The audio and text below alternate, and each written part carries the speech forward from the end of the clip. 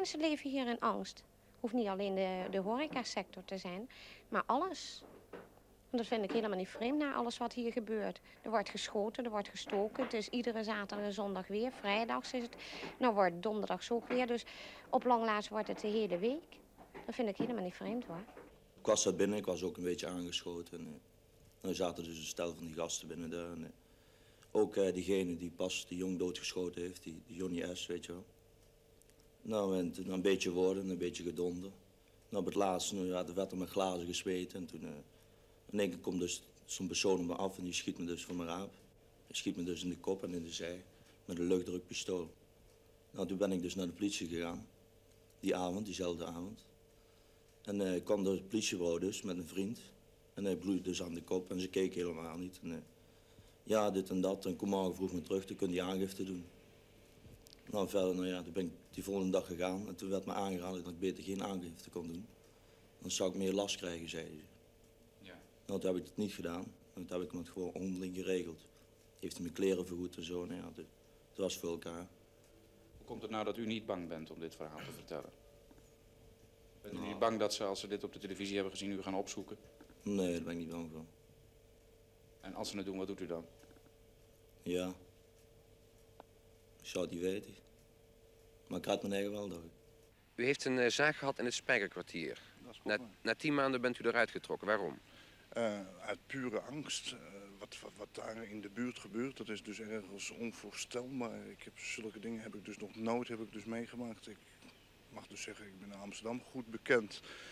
En zelfs op de Zeedijk, maar daar heb ik zulke dingen nog nooit meegemaakt. Wat voor soort dingen? Ik zat dus amper dus een paar weken in de zaak. Toen werd er vier keer op me geschoten door zeker hier Schonewoerd... die dus nu die man van die broodjeszaak heeft doodgeschoten. Bij een heleboel mensen bestaat toch wel het idee dat de politie wat te laks is. Bijvoorbeeld als, als er een uh, schietpartij is en ze bellen de politie dat de politie uh, te laat arriveert. Uh, meneer Frequent, dat kan misschien in het verleden een keer geweest zijn. En dat wil ik ook helemaal niet ontkennen, maar er zijn een reeks maatregelen genomen en die dateren ongeveer van een, een half jaar, jaar geleden, waarin die, taak, die hele zaak totaal is omgegooid. Uh, er is een groep ingesteld, een groep die zich uitsluitend richt op de Korenmarkt en uitsluitend richt op het Spijkerkwartier. Uh, er is een speciale groep, is er opgericht, een groep die dus uh, figuren die menen zich bepaalde vrijheden te kunnen veroorloven, voortdurend in de gaten houdt en zoveel mogelijk met deze knapen rekening houdt en als het kan er zo snel mogelijk bovenop zit. En dat is geloof ik ook echt wel een zaak dat, dat, dat we daar zo hard als maar kan bovenop gaan. Is het zo dat, uh, dat u vindt dat hij genoeg medewerking heeft van de, van de justitie? Dat de justitie genoeg achter u staat? Ik dacht wel dat de justitie een heleboel kon doen. Daar ben ik zelf van overtuigd. Ik mag het misschien illustreren aan de hand van een klein voorbeeld. Een... Maar hoe bedoelt u dat de justitie eh, genoeg zou kunnen doen? Ik geloof wel dat, dat, dat zwaar straffen, dat dat echt een, een hele belangrijke reactie, zeker tegenover dat soort figuren, uh, zou opwekken. U vindt dus, als ik u goed begrijp, dat de justitie uh, wat te lage straffen oplegt? Nou, daar laat ik me dus verder niet over uit.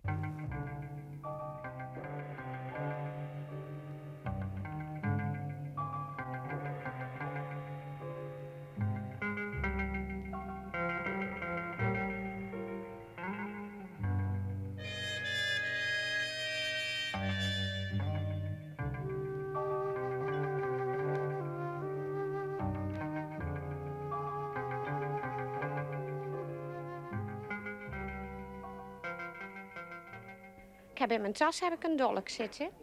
En ik heb nog veel meer uh, van die dingen. Nou, dat is Zoals een... wat? Nou, ik heb nog een ouderwetse kleewang en ik heb een gummiknuppel. En ik heb nog een dolk die in mijn uh, speciale bar ligt. Als er een situatie uh, voordoet dat u die dolk nodig heeft, dan zult u hem ook gebruiken? Ja, dan gebruik ik hem, maar ik gooi ze niet dood. Maar wel op een of andere plaats als ze dan wel enig letsel hebben dat ze me niet meer aan kunnen raken of zo.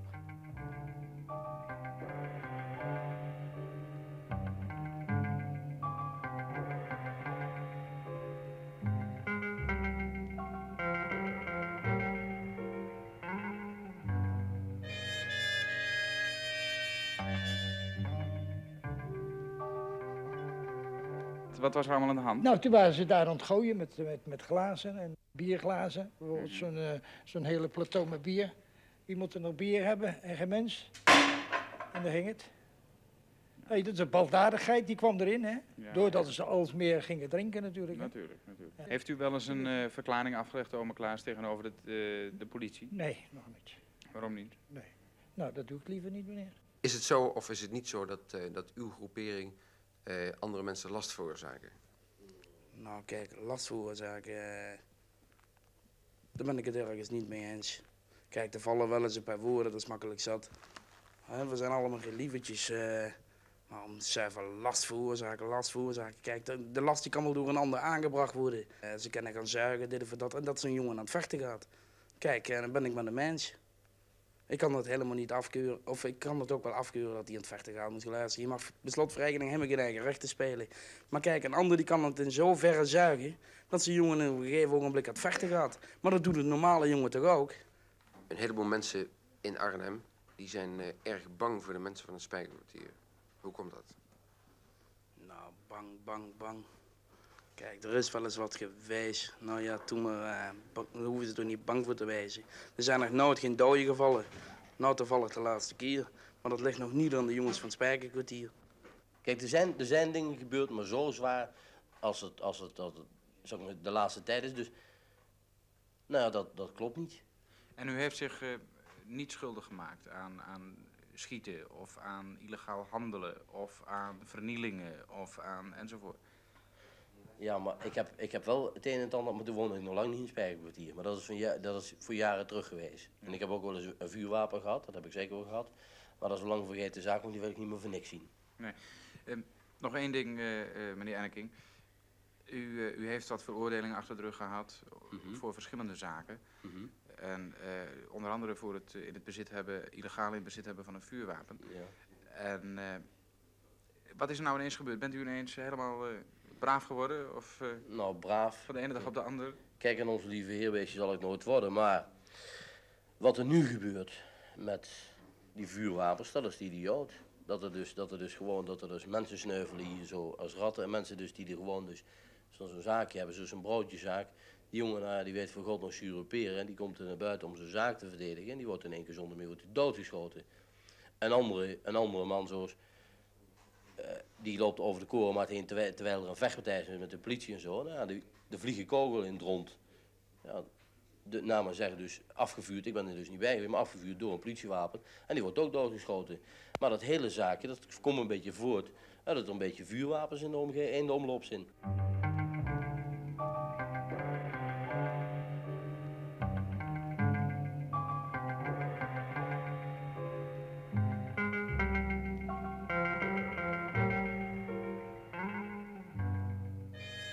Als u dat wil, dus dan kan ik u binnen drie minuten elk gewend wapen kan ik u leveren.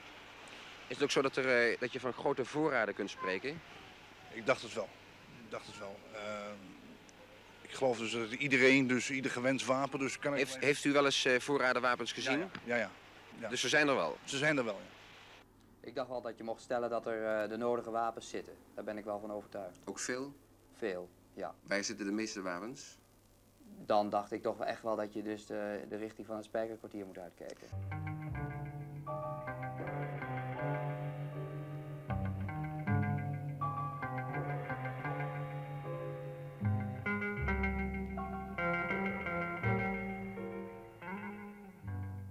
Als je wat gaat zeggen en eh, ze hebben het in de gaten, nou, dan krijg je natuurlijk de hele troep tegen je. Dat snap je wel.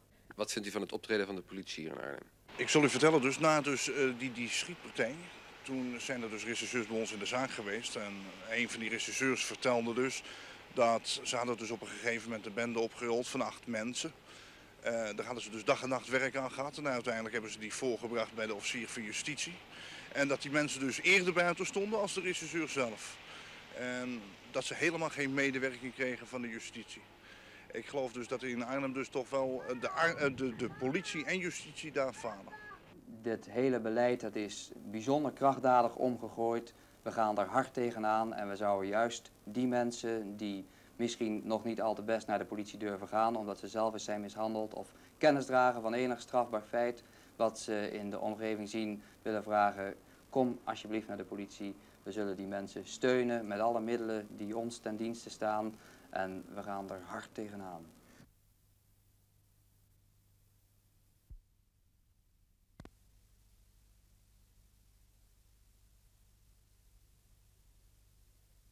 Het is hier ernstig, maar wat hier dus het laatste jaar is gebeurd, heb ik nog nooit meegemaakt hier in Arnhem. En dat wil dus zeggen, hè, kijk, dus deze dingen dus die hier in Arnhem gebeuren, hè, dus dat de deuren en ruiten in worden gegooid, is wel eens meermalen gebeurd, ook daarvoor. Maar dat er dus deuren in brand worden gestoken. Onder andere dus dat ze naar binnen toe komen dus met een aantal mensen, dat ze dus dan de boel vernielen. Dat heb ik dus nog niet meegemaakt in die geest.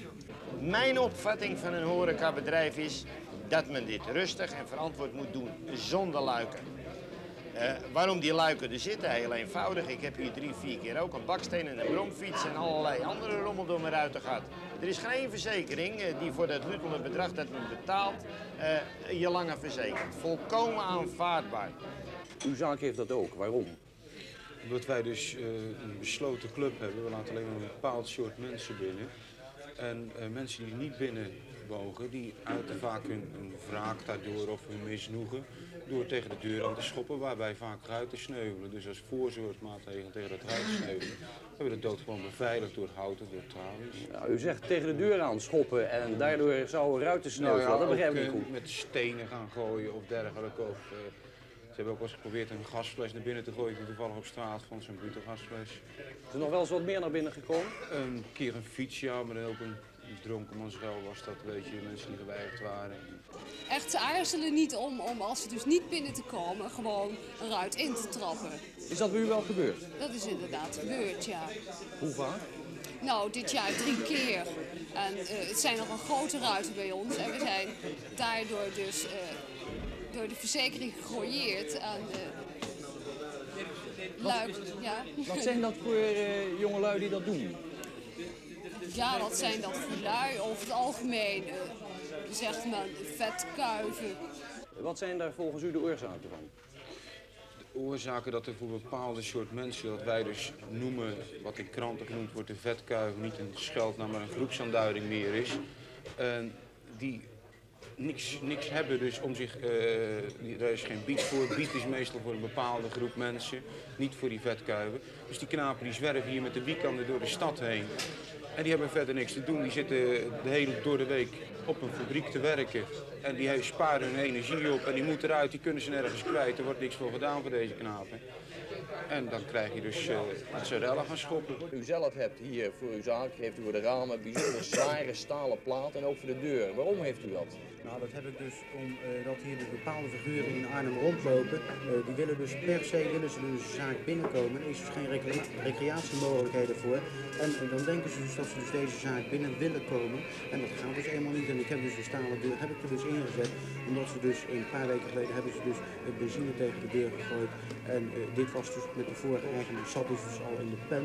Maar die benzine, is dat eh, geweest, eh, wou ze dat in brand steken of zo? Nee, Ze wouden de deur in brand steken, ze wouden dus door de deur binnenkomen. Zonder dus een mannetje of dertig stonden dus voor de deur. Eh, wat is hier de laatste tijd gebeurd? En, en dit is echt niet iets van de laatste weken. Eh, een piek in deze periode is het laatste half jaar. Men is eh, echt erop uit geweest om de mensen op straat lastig te vallen. Men heeft eh, aan de lopende band, zelfs bij niet horen buiten ingegooid. Men heeft op de straat eenvoudig de mensen vastgehouden en gezegd: als ik geen 25 gulden krijg, krijg ik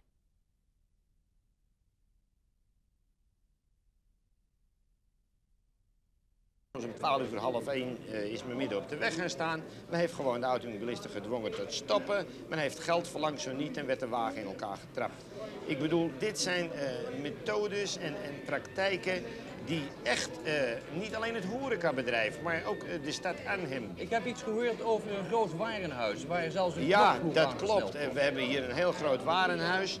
En die heeft zelfs, eh, en dit is allemaal echt bekend, al zal men dat wel weer willen ontkennen.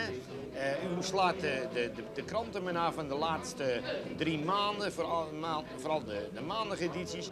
Eh, daar is regelmatig ellende en trammeland geweest. Het was op zelfs zo dat de directie uit eh, de potige jongens die ze in dienst hadden een knokploeg recureerde. Van het warenhuis? Van het warenhuis. Ik heb van een paar journalisten in Arnhem gehoord dat er ook de onderwereld in het spel zou zijn. Is dat zo? Nou, dat geloof ik dus pertinent niet. Ik geloof helemaal niet dat hier dus een eh, bepaalde, eh, ik wil zeggen, niet zeggen terreur, maar toch een, een zekere spanning door de onderwereld eh, veroorzaakt zou zijn. Nou, nee, dit geloof ik Nee? absoluut niet. Die onderwereld is er wel, heeft de Arnhemse politie toegegeven. Maar welke exploitant zal ronduit zeggen dat hij daar last van heeft? De meeste getraliede, bepanserde of van luiken voorziene cafés en bars hebben een besloten karakter, omdat de eigenaars herrieschoppers willen weren. Omgekeerd wordt er herrie geschopt omdat men er niet in mag.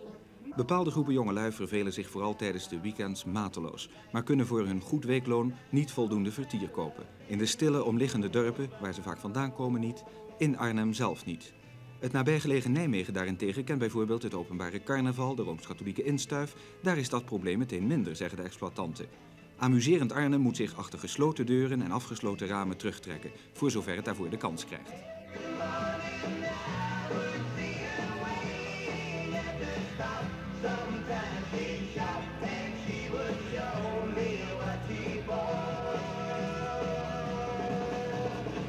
Oorzaak, en nou ga ik iets heel raars zeggen, de oorzaak zijn wij ouderen. We hebben natuurlijk eh, een enorme uitbreiding hier gezien en dat is alles fantastisch gegaan. De stad is gegroeid, die is zelfs te snel gegroeid. En men heeft vergeten dat in deze nieuwe wijken ook kinderen zouden geboren worden. Die zijn nu 19 en 18 jaar en 17 jaar. Deze kinderen, ik merk dit zelf aan mijn kinderen, die ook andere eisen stellen als die wij vroeger gesteld zouden hebben. En eh, dit is volkomen hun recht. We leven in 1966. Dit is een hele andere tijd hè, als 1945. En eh, men begrijpt hier bij vele officiële instanties dit echt niet. Hè. Men wil hier niet weten van een jeugdprobleem. De jeugd ligt hier op de straat. Enkele dagen geleden zijn er in de Arnhemse Raad vragen gesteld over de huidige toestand. De burgemeester heeft toen gezegd dat hij aanstaande week dinsdag zou antwoorden op deze vragen. Hebt u zelf nou enig idee hoe dit antwoord van de burgemeester zal uitvallen? Uh, er komt ongeveer wel naar mijn mening een antwoord uit de bus van meneer Matsen. Uh, deze zaak is heel zwaar overtrokken en uh, ik beschouw dit als een ongemotiveerde rel. Daarmee, daarmee, en dat wil ik accentueren, is hier het probleem niet uit de doeken. Het probleem blijft. Problemen vooral tijdens de weekends in Arnhems binnenstad. Café-terreur, vernielingen.